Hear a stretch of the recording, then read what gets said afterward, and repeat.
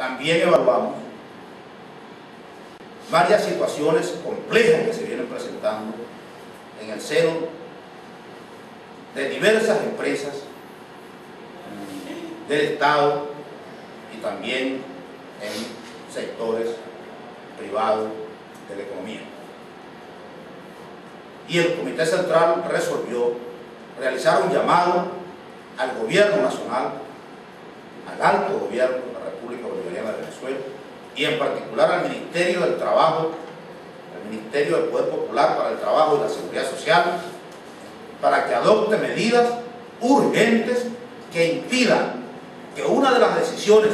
que está en la ley orgánica del del trabajo de las trabajadoras y los trabajadores, como es la estabilidad para las y los trabajadores en situación de tercerización y que en un lapso de tres años se resuelva esa situación violatoria de derechos de trabajadores y trabajadoras, que se tomen medidas para impedir los despidos generalizados que se están realizando en el sector privado y en el sector público. Porque de lo contrario, lo que es una conquista para los trabajadores y las trabajadoras en este aspecto específico de la lucha contra la tercerización, se convertirá más bien en un, se revertirá en una amenaza y un daño para los trabajadores y las trabajadoras en esta condición. De igual manera, el Comité Central se ha pronunciado en forma solidaria con las y los trabajadores de Petrocasa, con las y los trabajadores cementeros, con las y los trabajadores de los viajes, que han venido levantando luchas para el desarrollo de la democracia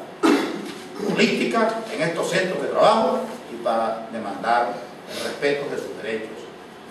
por los patronos correspondientes.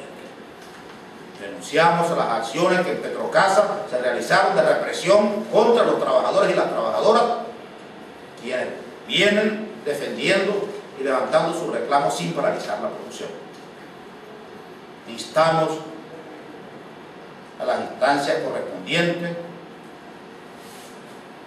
Ministerio del Trabajo y del gobierno venezolano para impedir estas acciones. Estas acciones que desdicen de lo que es la política que defiende el presidente Chávez y que acompaña el Partido Comunista de Venezuela.